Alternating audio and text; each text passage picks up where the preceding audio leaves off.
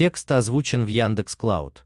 Проблема управления и точности. Почему гиперзвуковое оружие еще не готово к применению? Генерация голоса выполнена с помощью Яндекс SpeechKit.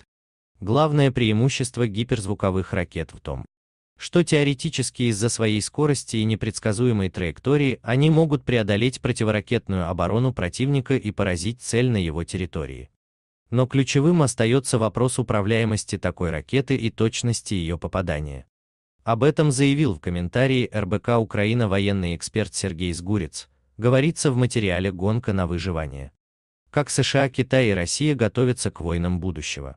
Даже Китай не может похвастаться успешностью испытаний этой ракеты. Она существенно отклонилась от точки приземления.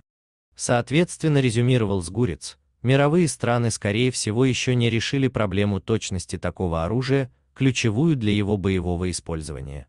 Учитывая это, Россия использует победные реляции о своем гиперзвуке скорее как пропагандистский инструмент, а не как реальное подтверждение технологического прорыва, уточнил он.